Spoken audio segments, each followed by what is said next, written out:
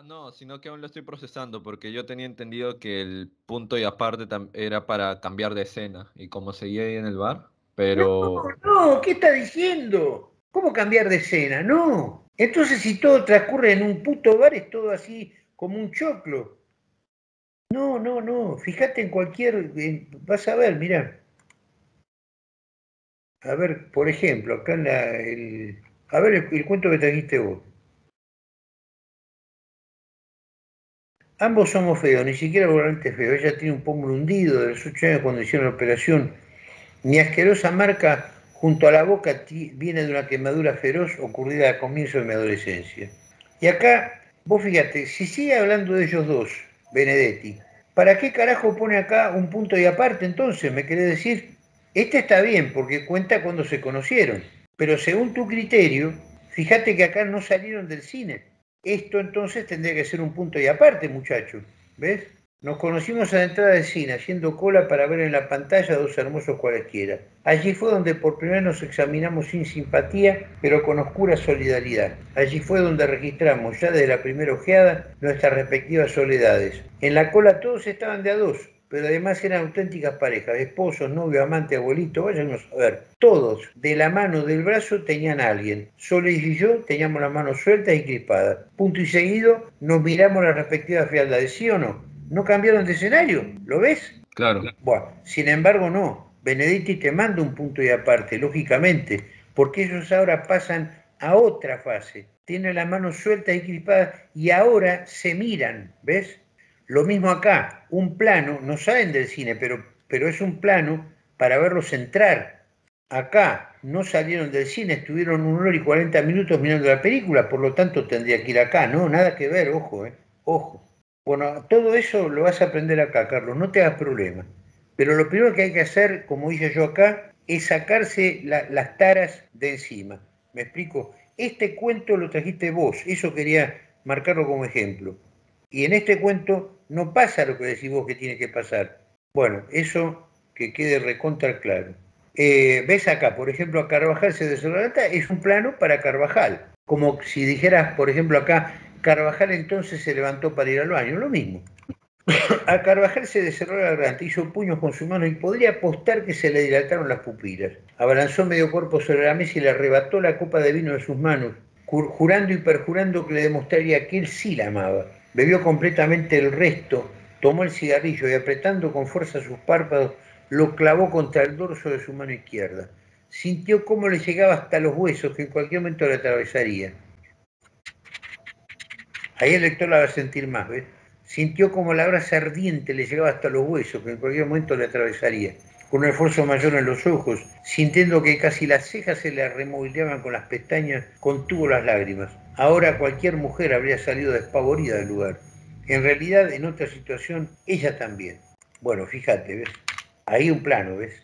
Ahora cualquier mujer habría sido despavorida del lugar. En realidad, en otra situación, ella también. Acuérdense que estas cosas de los puntos de aparte las pueden ver muy bien en el cine.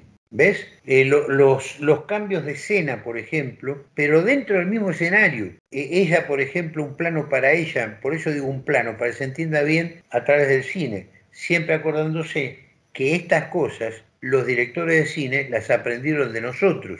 Esto no es una opinión, está recontra comprobado que David Ward Griffith, uno de los pioneros del cine, del cine mudo, por ende del cine, basó toda su estética cinematográfica en la narrativa de Dickens. Eso es justamente la adaptación que tuvo que hacer de la gente acostumbrada a leer una historia escrita, leer la historia ahora en imágenes.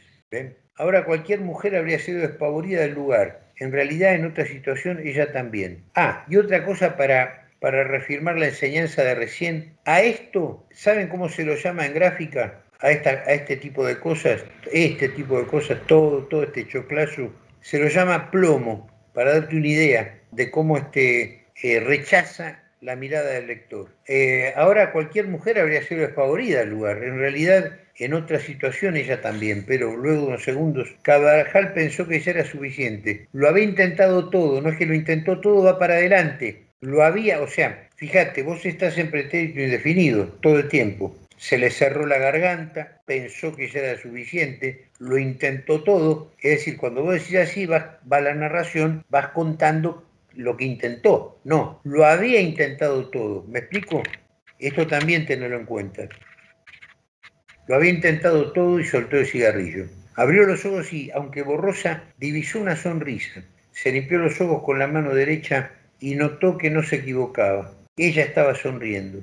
Carvajal se paralizó, quería levantarse, tirar la mesa a un costado con todo y vasos y hacer la suya, pero seguían en el bar. Aparte, mover la ampolla solo un centímetro le dio una punzada de espinazo. ¿Qué tocaba ahora? La respuesta se anticipó sin aviso ni me dar palabra. Elisa, aún sonriendo, tomó la mano herida y la besó.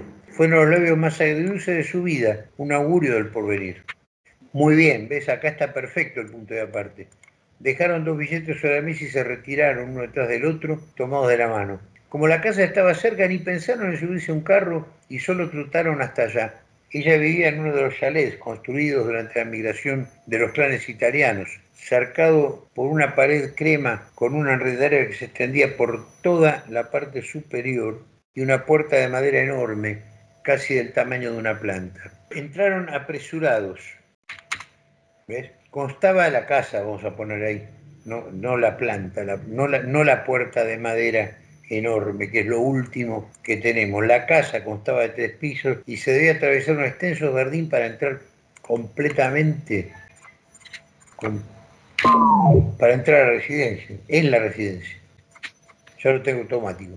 A los extremos laterales, formando una clase de segundo cerco, crecían cantutas, orquídeas, mayas y otras flores inidentificables.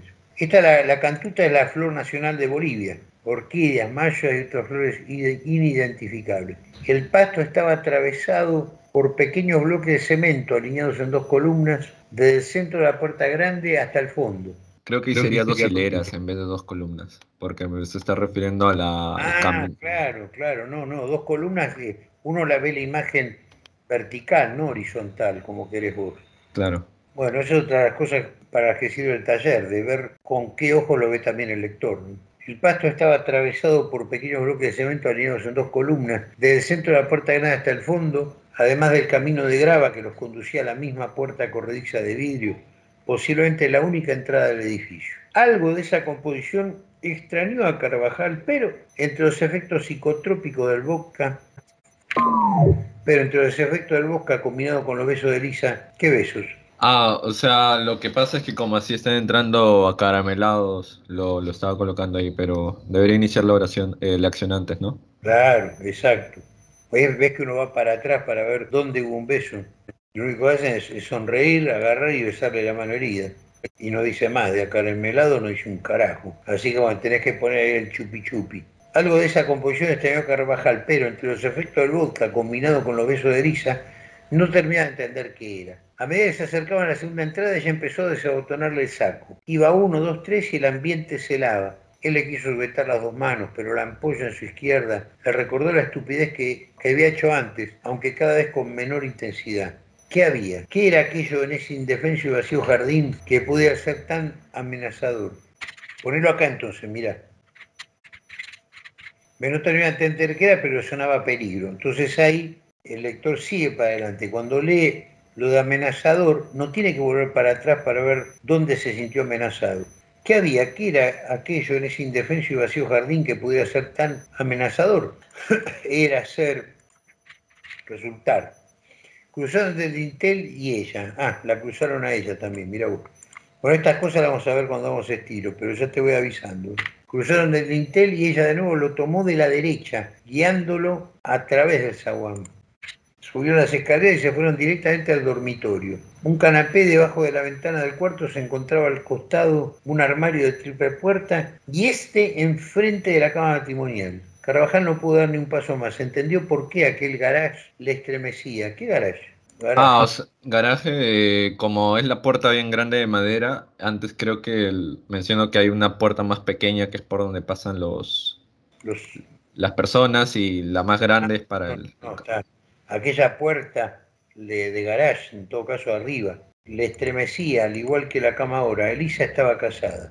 Muy bien. Carvajal pisó con fuerza, se acercó a la pared contigua al armario. Ojo, eh, yo conocí una chica soltera que dormía en una cama matrimonial. No, no significa nada esto. Ahora, que, que él, por ejemplo, vea un, calzoncillo de, varón, una corbata, alguna pipa, qué sé yo, algo, algo varonil, este, ahí se da cuenta de que la piba está casada. Carvajal pisó con fuerza, se acercó a la pared contigua al armario y se apoyó levemente. No podía arruinar el momento. Imaginó todas las continuaciones y desenlaces posibles y en todas las que se encontraba con el marido, también se encontraba con persecuciones, puñetes o disparos. Y reincorporó y le dijo a Elisa, quien estaba tirada sobre la cama con los brazos por encima de la cabeza, viendo a Carvajal mientras sonreía, que un rato iría al baño.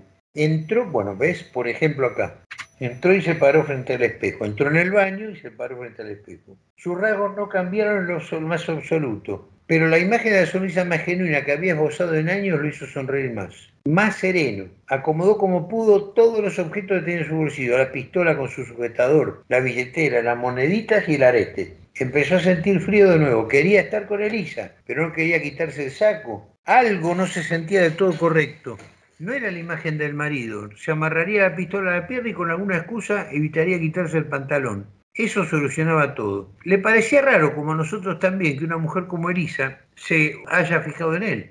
Su esposo tenía un hermoso yale, un carro carísimo, bastante dinero y apellido italiano. Incluso si fuera que un marido la engañó o que sea un vejete disfuncional, se habría vengado con él muchísimo más joven y radiante. Perdón, los tipos que tenemos apellido italiano, en qué nos privilegia tener apellido italiano? ¿Tenemos fama de seductores? Ah, ah, no, lo que pasa es que esto sí lo he hecho más por influencia de Ribeiro, que, o sea, es el, que más el autor que más me gusta y usualmente en Perú al menos, a los que eran, a, los criollos españoles, cuando llegan los italianos, especialmente en la zona de la sierra, ah. empiezan a formarse sus, sus clanes, ¿no? Por eso mencionaba antes que ellos habían migrado. Sí.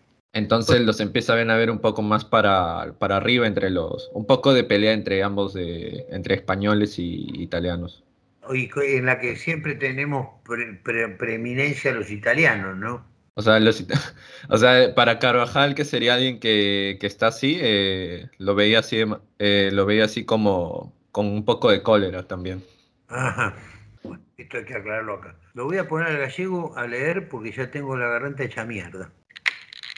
Incluso si fuera que su marido la engañó o que sea un vejete disfuncional, se habría vengado con alguien muchísimo más joven y radiante. No tenía sentido que se haya conformado con un grisáceo cuarentón aleatorio que conoció por casualidad en una taberna. Ni siquiera es que haya querido galantearla en primer lugar. Se sentó sin preguntar en su mesa sin ningún aviso, y solo porque no quería beber su último trago solo. Claro, ella estaba vencida, de otra manera no habría respondido a sus vociferaciones contra las supuestas victorias y derrotas de la vida, ni habría continuado todo hasta aquí. Sucedía algo más, pero no podía descifrar exactamente qué. Se estaba tardando. Aún en esa situación, su principal interés seguía siendo Elisa. Colocó todas sus pertenencias en su bolsillo, amarró el arma y salió. Un cuerpo de ensueño, plateado bajo los últimos rayos del sol, lo llamaba con el dedo y una voz melodiosa, como una sirena seduciendo a un argonauta. Encantado, la tomó entre sus manos y se empezaron a amar. Una buena parte de lo que ocurrió a continuación, aunque me lo explicó y repitió con bastante detalle, y algún unas veces hasta con mímica, me la reservaré, pero en esta ocasión por cuestiones personales. De todas formas, usted ya debe estar bien informado del tema. Sin embargo, debe saber que esa mujer era más amarga que. Carvajal estaba excitado en todas sus acepciones posibles. Aquella noche liberó toda la energía que acumuló durante los últimos años. La besaba por los pies, subía por las piernas, hundía su cara en su vientre, en su voluptuoso pecho, y hasta se dio la desenfrenada libertad de lamerle el cuello, sentir sus labios y le agarró la cabeza con pasión. De repente, Elisa gimió de dolor, pero se mordió la lengua al instante. Carvajal le preguntó qué pasó. Ella no le dio importancia al tema, que solo la había sujetado muy fuerte e intentó llevarle sus manos a su pecho. Continuaron. Carvajal se controló más. Ya no la sujetaba, solo la palpaba, cada rincón y escondrijo nuevos le producían un irrefrenable deseo de seguir explorando, como un niño con su juguete nuevo, y la besaba más y más. Le besaba los labios, las mejillas, la nariz, la frente, las orejas. Esta vez fue un alarido y empujó a Carvajal. Él le preguntó si de nuevo fue muy fuerte a lo que ella respondió afirmativa. Mentira otra vez. Él estaba teniendo sumo cuidado. Para que haya gritado así, debía tener la oreja izquierda muy sensible. No quería detenerse, pero tuvo la sensación de que eso tenía relación con el frío que lo aquejaba antes. Le prometió que iba a ser mucho más cuidadoso y que por favor quería continuar, no volvería a equivocarse. Sin verlo hacia los ojos, con la cabeza mirando. Acá sabes que las cosas que se dicen y todo, podés ponerlo así, mirá, para que tenga más aire todavía. Eh, con, con guiones de diálogo, que hablen. Sin verlo hacia los ojos, con la cabeza mirando a la puerta, le respondió sin ganas, dubitativa, que estaba bien. Carvajal entendió que debía ser en extremo cuidadoso de ahora en adelante. Esta vez se aseguró de hacerle olvidar lo que había ocurrido, Elisa ya no se encontraba con la misma disposición que antes. Contó en su mente confusos minutos en los que no terminaba de entender si en el ambiente se respiraba interés o desidia, pero él aprovechaba cada uno al máximo, hasta que ya no pueda más. Cumplido el tiempo, con la mano derecha le hizo para lo que sirven las manos derechas. Con la izquierda, mientras la seguía embelesando con su tacto, le levantó, lento y delicado, pero seguro, el pelo. Tuvo que poner toda su concentración y esfuerzo por no sobresaltarse después de lo que vio. Un orificio, medianamente inflamado y con una herida cicatrizante, longitudinal hasta el borde. Se esforzó en mantener su respiración a un ritmo constante, al igual que a su mano derecha. Primero tomó la derecha de Elisa y luego la izquierda, ambas contra la cama. Se arrodilló por encima de ella para realizar la última penetración, enérgica, inquisitiva y violenta. Le preguntó si su marido iba a volver pronto, si iba a traer a... ¿Qué fue lo que pasó? Ah, o ah. sea, como le el, al inicio se menciona que el arete que tiene el, el, arete que se encuentra con Don Ferrara y que tiene en este momento Carvajal es del Helix y encuentra su herida encuentra una herida en la parte justamente superior de la, de la oreja de la oreja izquierda cuando están ahí entonces él asume que y además de que no estaba por ejemplo el, el carro del marido que le parecía raro eh, entonces él y que la, herida la tenía bien sensible, entonces él asume que justamente el, el arete tranquilamente le pertenece a, a, ella, que era que ya era, había estado en el asesinato de Don Ferrara. Ah, bueno, ponerlo acá porque si no. O sea, luego justamente creo que en el siguiente párrafo es cuando él empieza a tirar varias preguntas.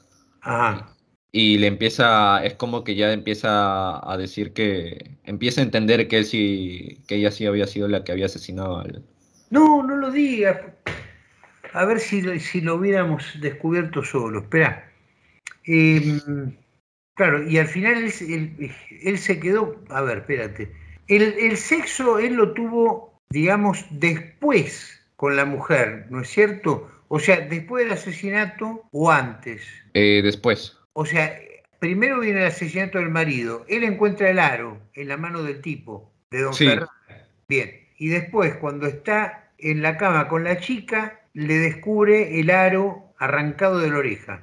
Eh, claro, o sea, la chica le descubre que, tiene la cicatriz de que, le había quitado a don Ferrara en su mano. No, no, espera, espera, espera un cachito. La eh, o sea, no está la herida fresca. El asesinato fue hace tiempo, hace, ponele, dos días, ponele. Sí, hace unos días. Entonces está cicatrizando. Perfecto. O sea, él está en la escena del crimen, se lleva un arete, como policía que es, bárbaro. Después se, se cuesta con la piba y descubre, y ahí se le arma todo en la cabeza. Bien, vamos a ver cómo viene acá entonces, desde acá hasta el final. sin verlo a los ojos, con la cabeza gacha mirando a la puerta, le respondió sin ganas, dubitativa que estaba bien. Carvajal entendió que debía ser en extremo cuidadoso de ahora en adelante. Esta vez se aseguró de hacerlo olvidar lo que había ocurrido. Elisa ya no se encontraba con la misma disposición que antes. Él contó en su mente confusos minutos en los que no terminó de entender si en el ambiente se respiraba interés o desidia, pero él aprovechaba cada uno al máximo hasta que ya no aprovecharía hasta que no pudiera más. Cumplido el tiempo, cumplido el tiempo ya eh, habiendo acabado los dos, quiere decir, pues esto no está en el hotel. Ah, o sea, como dice, contó en su mente confusos minutos, eh, se refiere justamente a que quiere que Elisa quiere que se olvide de, lo, de la segunda porque ya está, en ya está más en alerta. Bien. Por eso. Ya le, ah. le está pasando las ganas. Sí, pero no está para contar minutos, uno, dos, tres. Cumplido el tiempo con la mano derecha le hizo para lo que le hizo, le hizo para lo que sirve la mano derecha. ¿Qué? Ah, no, no, eh, básicamente la, la masturbó eh, con la mano derecha. Yo con la mano derecha lo que estoy haciendo es usando el mouse en este momento. Eh, con la izquierda, mientras se iba embelezando con su tacto, le levantó lento y delicado pero seguro el pelo. Tuvo que poner toda su concentración y esfuerzo por no sobresaltarse después de lo que vio. Un orificio mediante inflamado y con una herida cicatrizante longitudinal hasta el borde. Se esforzó en mantener su respiración a un ritmo constante, al igual que su mano derecha. Primero tomó la derecha de Elisa y luego la izquierda, ambas contra la cama. Se arrodilló por encima de ella para realizar la última penetración enérgica, inquisitiva y violenta. Le preguntó si su marido iba a volver pronto, si iba a traer amigos porque se llevó su carro. Ella negaba. Le preguntó si se había sentido sola mucho tiempo, si sentía que alguien... Todo esto también, a estilo directo lo puede mandar. Le preguntó si su marido iba a volver pronto, si iba a traer amigos porque se llevó su carro. Ella negaba, le preguntó si se había sentido sola mucho tiempo, si sentía que alguien alguna vez la amó. Ella afirmaba. ¿Por qué estaba en el bar? ¿Dónde había estado antes? Ella dudaba. Si ya lo había engañado, si el otro hombre se llevó el dinero. Ella forcejeaba. Le habló del arete. Si ella había extraviado uno, ella pateaba. Casi perdió el equilibrio. Aún ejerciendo presión, tomó la pistola de su pantorrilla y le advirtió que se detuviera. Todo esto tiene que ir a estilo directo si no está siendo contado eh, a estilo directo, me refiero con los guiones de diálogo. Ella paraba, Santiago Carvajal continuó, después Elisa siempre fue lo principal que tuvo en mente. Le preguntó si le estaba gustando, ella lloraba, terminó, se levantó, se vistió y se fue. Elisa estaba rendida sobre la cama, húmeda, sola. No he vuelto a saber de Carvajal ni de Elisa tampoco. Nunca apareció en los periódicos, aunque eso no indica nada, pues con tantos casos similares no alcanza espacio para todos. Y se pregunta si alguna vez le dije a Carvajal quién era yo, debe saber que no. No fue por nada que usted se imagina, simplemente que yo no. No, esto lo del final es incomprensible. Yo, es más, yo te digo una cosa. ¿Quién, a ver, ¿quién es él? ¿Quién, quién era yo, el que narra? Ah, sí. Eh, el, en un momento en la, cuando están discutiendo, le se refiere a que.